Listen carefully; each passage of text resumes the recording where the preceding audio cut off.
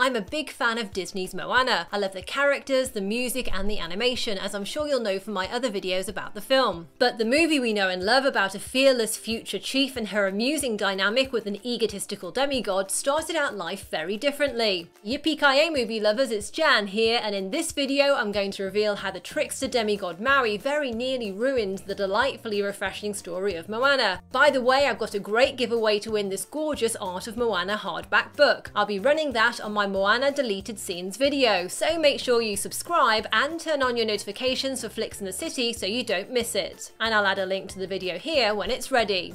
Quick warning, if you haven't seen Moana yet, I will be talking spoilers and discussing alternative endings for the movie in this video. If that's a problem, you can check out my spoiler-free Moana review here, and watch this video after you've had a chance to see the film. When Moana directors Ron Clements and John Musker decided they wanted to make a movie based on the Pacific Islands, they began by researching the mythology of the region, in particular the legends of the demigod Maui. Indeed, the original title of the film was going to be Mighty Maui, and it was going to adapt a number of Maui myths into a brand new story that focused principally on his character. One of the main legends they planned to use involved a sidekick female character who asked Maui to help rescue her lover who'd been kidnapped. However, after directors Ron Clements and John Musker travelled to the Pacific to learn more about the culture, they found out their original idea was rather stereotyped. During their visit, they learned about oceanic people's very strong connection to the sea and their shared history of navigation, so they decided the story should focus more significantly on that. On their return, Clements and Musker tossed out the Mighty Maui concept and reversed the two character roles, making Maui the sidekick and Moana the lead character. Their idea was that the film should concentrate on being a discovery of who you really are, and they envisaged Moana and Maui as a kind of true grit style odd couple.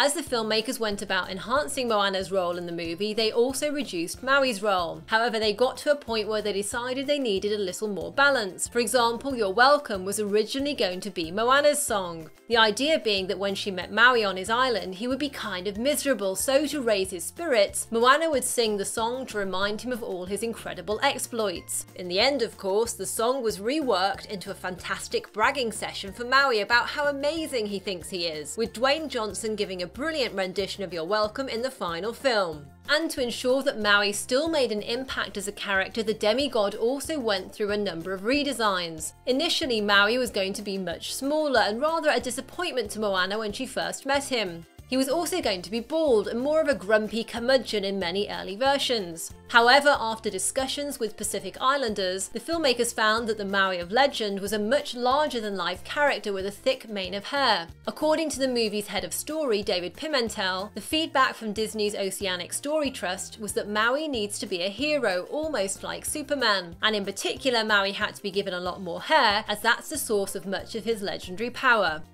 Now, one of the most beautiful and touching moments in Moana happens towards the end of the film, when Moana parts the sea and walks up to Kā to restore her missing heart. Instead of a villain being defeated, what we see is a peaceful resolution and redemption for Kā, and of course a triumph for Moana. But in previous versions of the script, this wasn't what happened. Rather, it was Maui who dominated the end of the story, completely overshadowing Moana's journey and achievement. In one alternate ending, Moana had to dive underwater to put the heart back into Ka, and while doing this, she became trapped. And she was only saved when Maui pulled up the island with his fishhook. And another alternate ending had Moana and Maui fighting Kā together, but it was Maui who was mostly responsible for defeating the lava demon. Quite late in the day, these endings were eventually rejected as they diminished Moana's achievement and made Maui the hero of Moana's story.